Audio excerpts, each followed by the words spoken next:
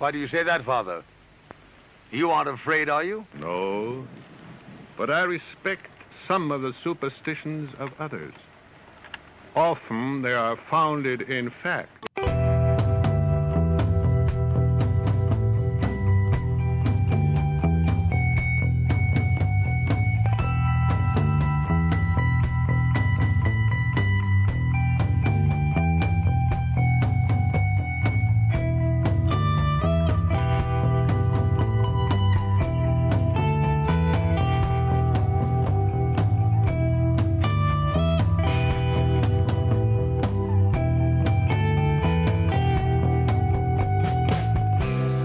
Broadcasting live from our Sanctum Sanctorum in Venice, California. This is the Sixth Sense Society. I'm your host, Krista, here with our producer, Michael, and today you are tuning in to Spell It Out Magick, Reflections, and Shadows, where I take a topic and run with it.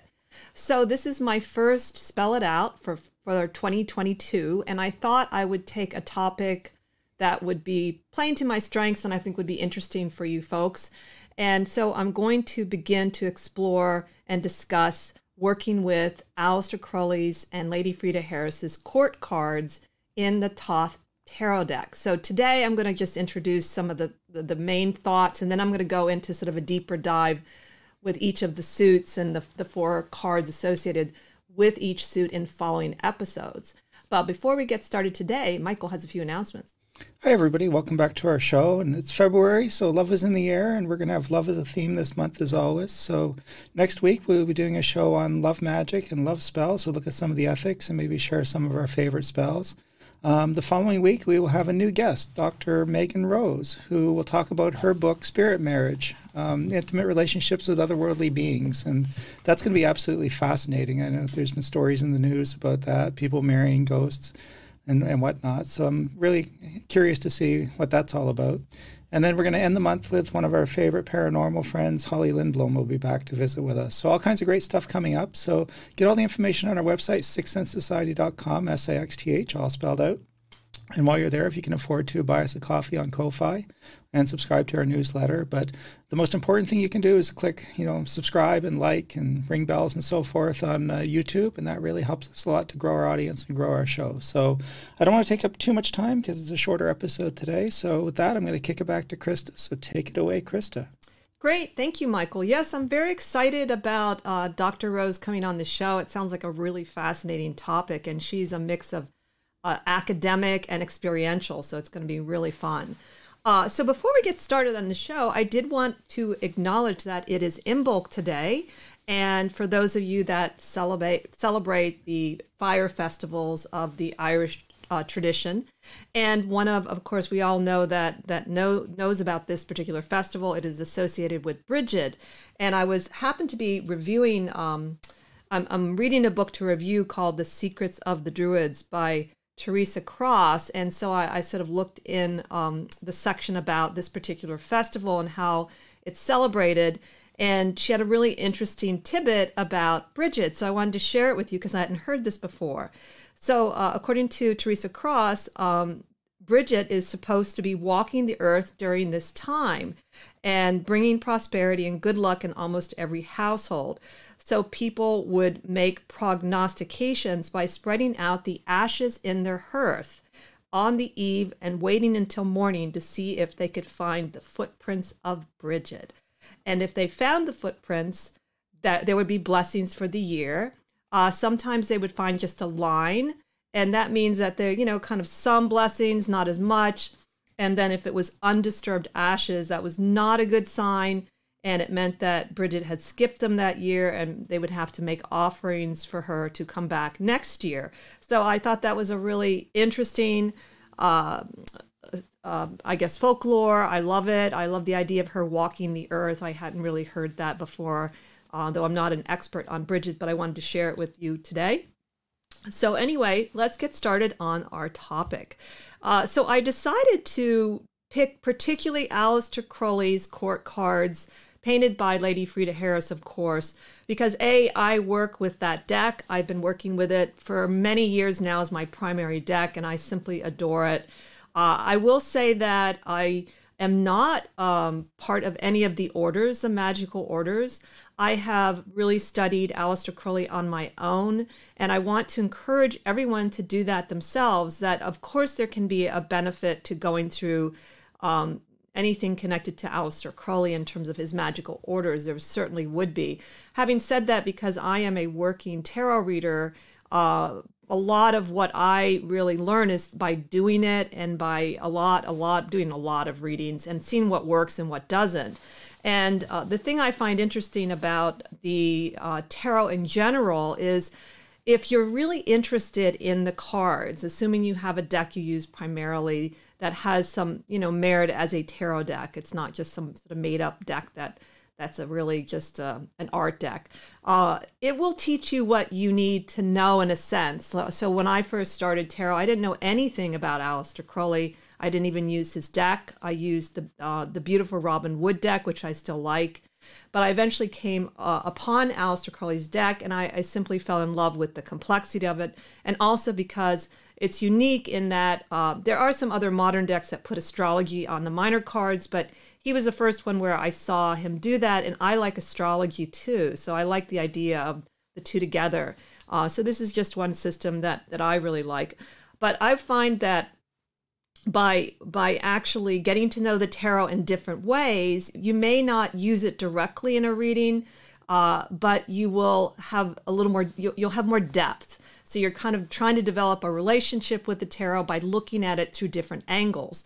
And Aleister Crowley helps you to do that by his the way he basically um, the layers of his uh, correspondences with all of the cards. But uh, I wanted to particularly focus on the court cards because they can be uh, confusing. And um, and and you, can sometimes say, well, is this a person or not? And, and one of the first things I'm going to say is, in general, the court cards can represent individuals, but depending on the placement of court cards, they can represent actions, states of minds. So it's going to depend on the layout, where it falls in a layout in in the deck, what it's going to be, and if it's going to be a person. And so, but let, let's get into a little bit more uh, first of all, what the court cards are, in case you don't know anything about the tarot. Uh, the tarot deck is 78 cards. 16 of these cards are royal cards. They're court cards connected to the court.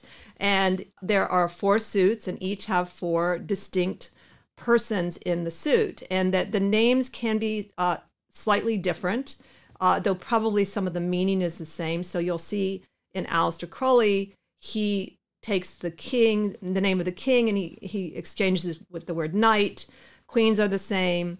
Uh, the prince is uh, a substitute for knight in other decks. And then we have the princess in Aleister Crowley's deck, which is a substitute for the page. And there are also some other sort of variations, I think, out there. But those are the titles we're going to be looking at uh, with Aleister Crowley. Now, the, the reason I also wanted to talk about this deck is because of the different layers. And I wanted to maybe help break down some of those layers and help you to sort of figure out a way to approach this particular deck. Um, Aleister Crowley associates, of course, the tarot with the Kabbalah, which we heartily agree with. And so the first layer you're going to see that I think is important is, is where any card falls on the tree of life. You can basically use that forever. You, know, that, that you can take some of the things I'm going to talk about are more, you know, sort of deeper details that you could probably uh, skip in a sense and still give an excellent reading, but can give you again those subtleties, those complexities that might help in particular readings. But if you were just to figure out the correspondence with the tree, uh, which court cards go with what side of the tree, what sephira in the tree, what does that look like? You're going to have enough to work with really for a very long time because honestly, that is basically what I have been doing up to maybe about a year or so ago. And and then because um, as I said, if you use the same deck, especially over and over again, it starts to sort of talk to you and sort of you get curious about like, well, why is he doing this and what does this mean? And so I um, I've read the the Book of Thoth, which Aleister Crowley meant to go with the tarot deck, but I've also really um, use uh, Lon Milo DuQuette's book, uh, Understanding Aleister Crowley's Thoth Tarot, if you want to look at the details of the cards and the different correspondences. He he really lays it out in a really clear system, so you can even see for yourself. I highly recommend both those books to use if you just want to dig deeper into the court cards or any of the cards actually. So the the first correspondence is the Kabbalah. The next thing that's equally important with with Aleister Crowley is the idea of the elements. Now that I did learn on my own. So you have the mixing of the elements is which is one of the ways that this deck is quite unique because of the emphasis on the elemental mixes which some of them don't make they're, they're not easy combinations but as a result you get these dynamic energies and forces and even if they are representing people you get really much more complex looking personas. And that is really true of humans in general. So there's the breakdown of um, the elements, of course, it's fire, water, air, and earth. And each of the court cards falls in a particular area of the tree of life, which is one element. And then each uh, court card itself, like the knight, is uh, connected to fire. So you have these layers of combinations of the two elements. So, for instance, the, the Knight of Wands, because it falls in the second Sephira, is fire of fire. And so he goes through each of these, and we're going to go through that more as I go into the details of the cards in later episodes.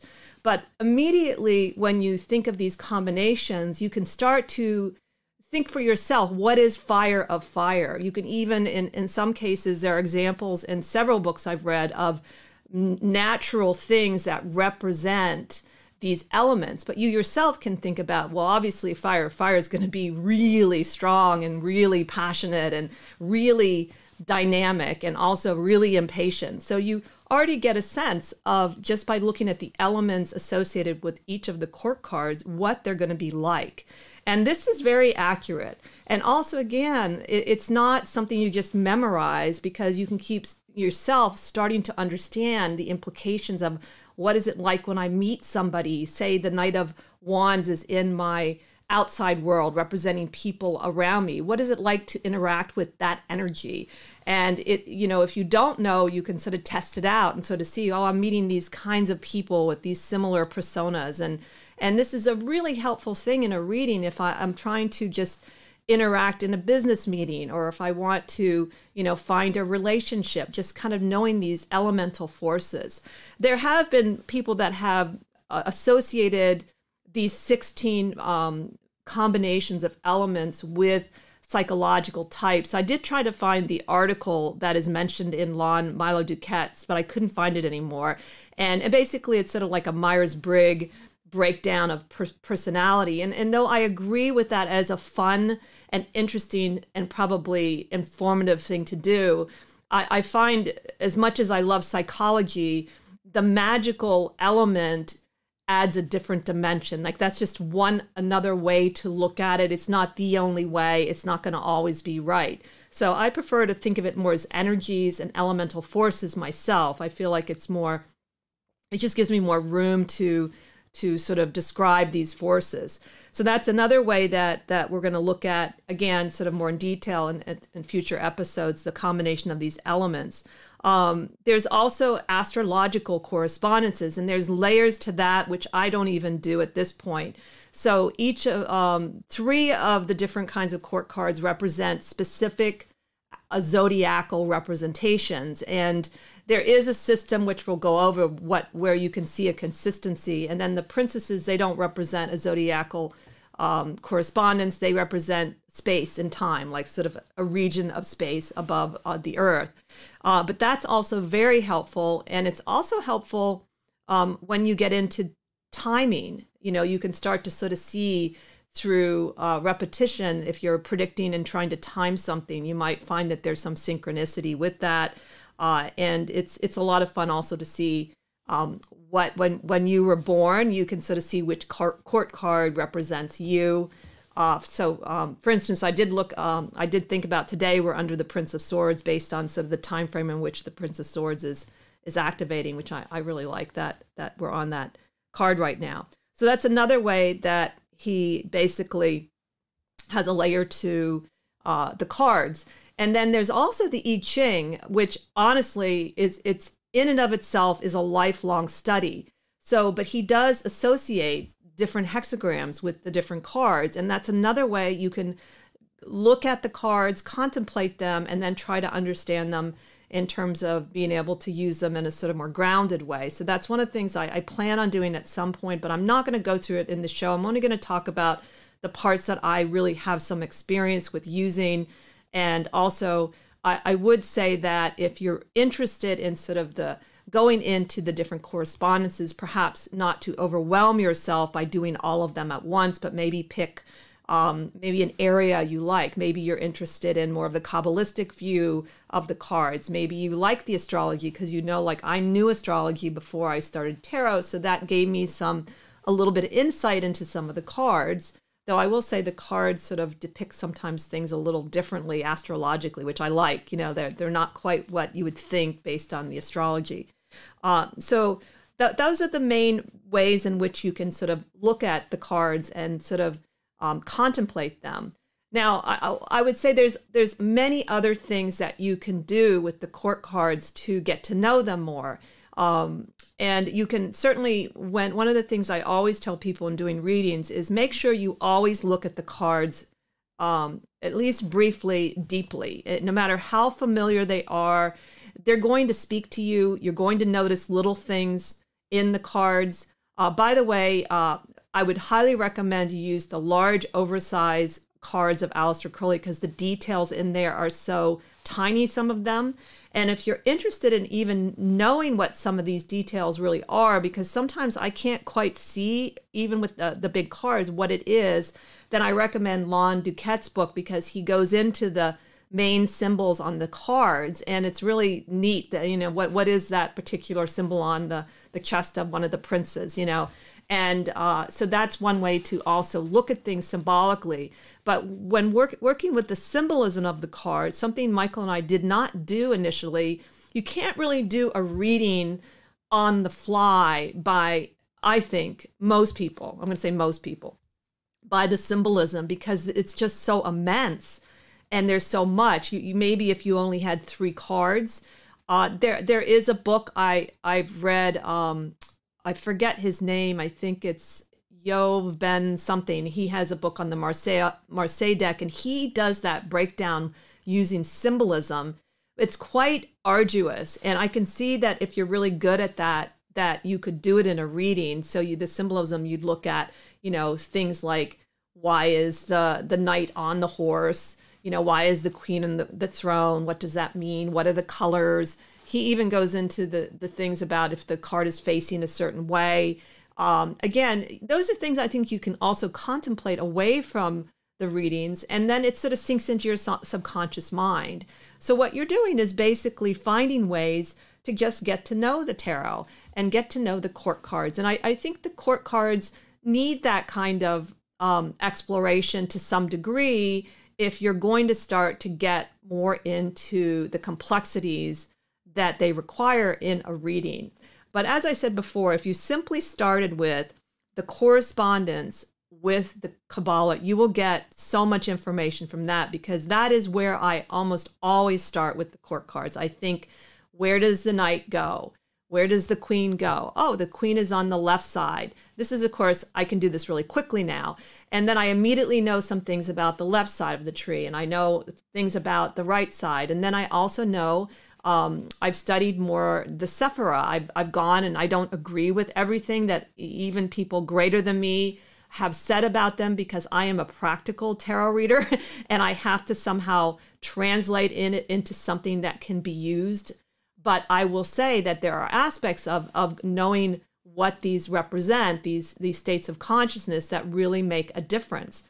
And then, of course, there are other correspondences you can get into. So it's very rich that way. Uh, so I would say, you know, you're, you're going to, if you want to use any of the court cards, you're going to want to figure out where is my starting place with them. Um, am I going to start like I do with by knowing that they're part of the Kabbalah? Am I going to start because I know they're connected to these astrological periods?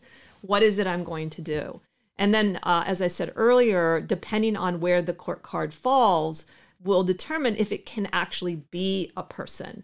It certainly, if it's in the environment around you and you have the Princess of Wands, yes, it could represent people or a person in your immediate surrounding. But if it's an outcome or an action, that doesn't make sense. So then you have to look at more as a dynamic force, uh, as well as I, I think um, well, I don't know when it's in the in the psychological portion or the mind or the heart of the person. It can be both. It can be certainly if you think about the mind, it can be thinking about individual people and be a, a certain state that a person's in. So it can be kind of both, I would say.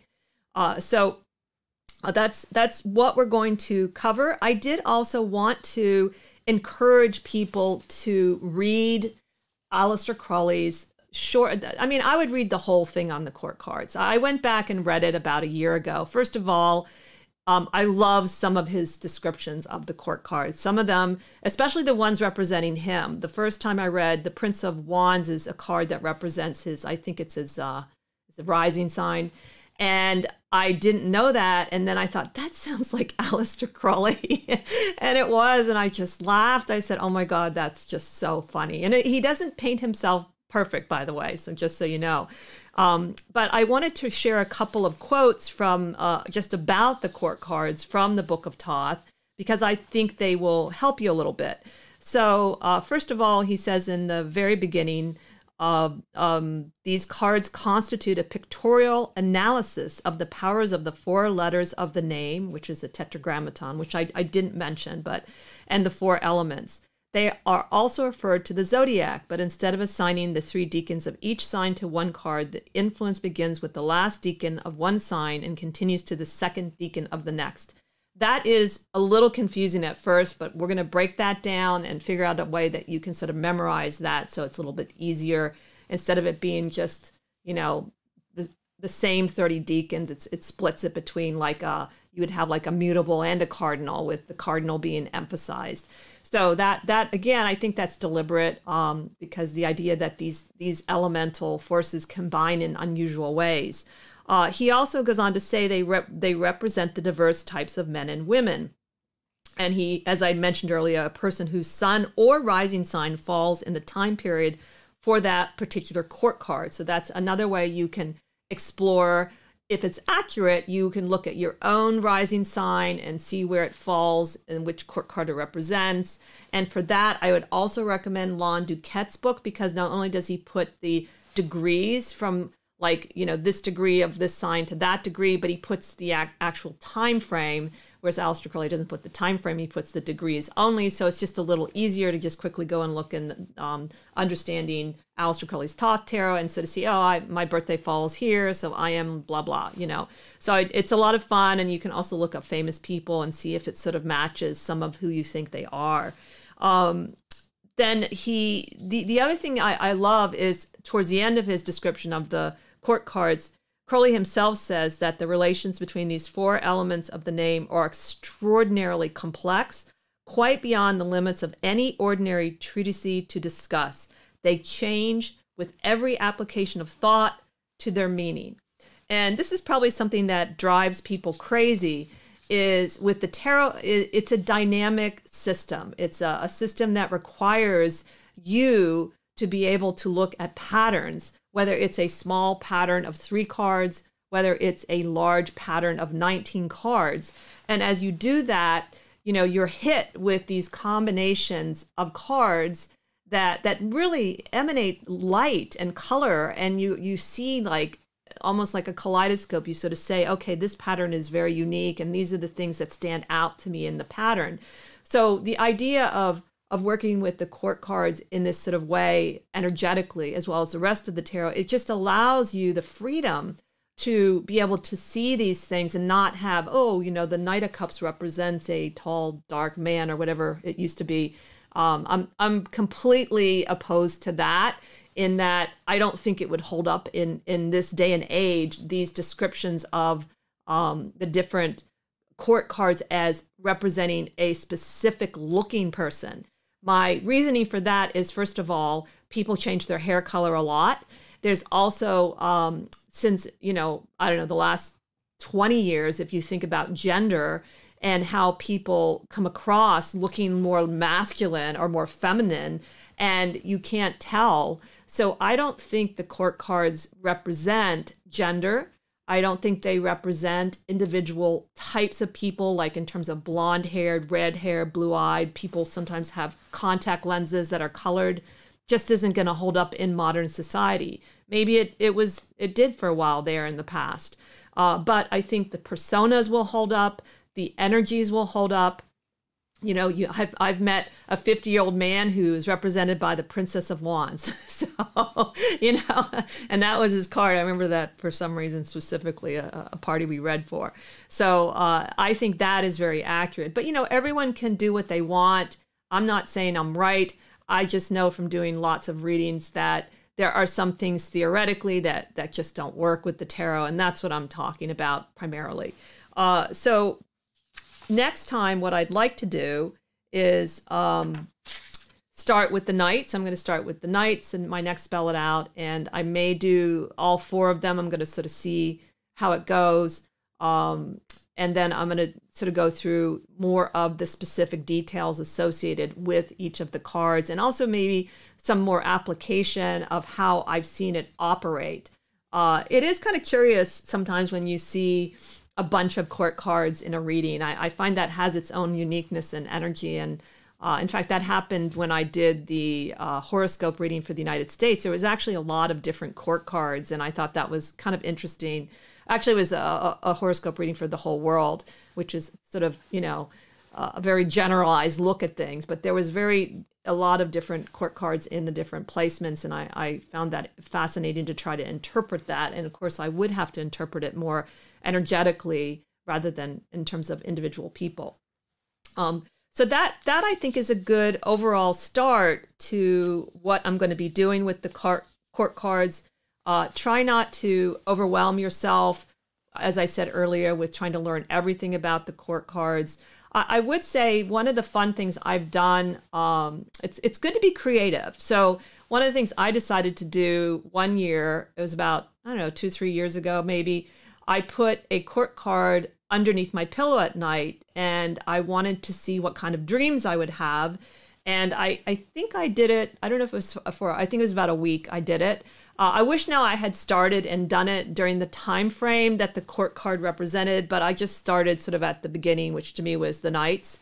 And I have to admit, I I, I very meticulously blog, uh, wrote down all of my dreams, and I had some really crazy, interesting dreams. So I haven't been able to spend the time to uh, interpret it yet, though I plan to be doing that alongside my show a little bit. I even had a dream where Aleister Crowley appeared, and that one was really fascinating, though I unfortunately couldn't remember some of the things he was showing me in the dreams. So that's a fun way to get to know them. The other thing I noticed when I was doing that is uh, whenever you focus on an archetypal energy or sort of a, a strong force, you sometimes invoke it uh, into the world. And I do remember one week where I was working with one of the queens. I, I, I have to admit, I had some interesting dynamics with women that week, though queens can certainly be men. But for, for my whatever reason, it was women, and I had some tension and some interesting things going on. Um, and I found that there are ways you can take the court cards, and if you're lacking in something, you can take the opposite and use them to bring that quality and energy into your life. Now, I, I think that might work with any court cards, but I do think that the reason that Aleister Crowley and Lady Frieda Harris have such a great deck is the amount of knowledge, time, energy, brilliance that went into the design of those decks, the intention. I don't think every deck can can really do what the, this particular deck does. So, anyway, I think we're getting close to the end of our show. Uh, I hope that you will take out the Aleister Crowley deck and look at the court cards this month before I go into the next one. And have a great week. Thanks for tuning in. And we look forward to seeing you next time as we continue to explore the esoteric and the obscure together.